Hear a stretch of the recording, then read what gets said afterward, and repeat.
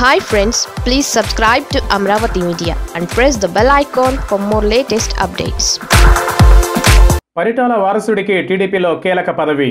అనంతపురంలో టీడీపీకి ఎంతో కీలకమైన పరిటాల ఫ్యామిలీకి పార్టీలోనూ ప్రత్యేకమైన గుర్తింపు ఉంది.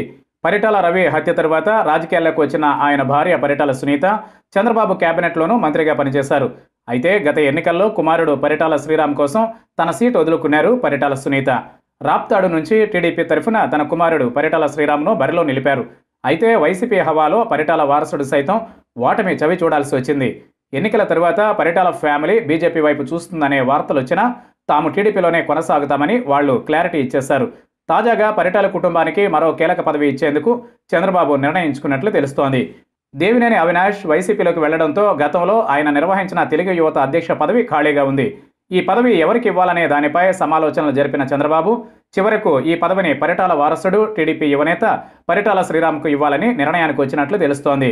త్వరలోనే ఇందుకు సంబంధించి అధికారిక ప్రకటన కూడా వచ్చే అవకాశాలు కనిపిస్తున్నాయి.